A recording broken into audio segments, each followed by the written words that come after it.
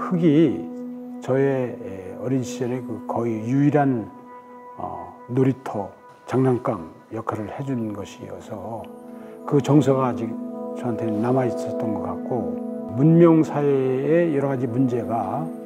땅, 흙을 덮어가는 과정 속에서 어, 이것이 표출되는 것이 아닌가 하는 그런 생각을 이제 하게 되면서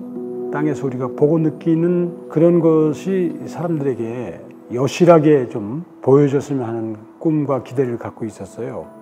우리- 우리가 매일 받고 살고 있고 모든 우리의 먹거리나 모든 것들이 다 대지로부터 나오는 것이기 때문에 특히 오늘처럼 지구의 위기를 우리는 땅을 되돌아봄으로써 다시 한번 우리가 무슨 역할을 미래를 위해서 후대를 위해서 할 것인가 하는 이런 여러 가지도 같이 동시에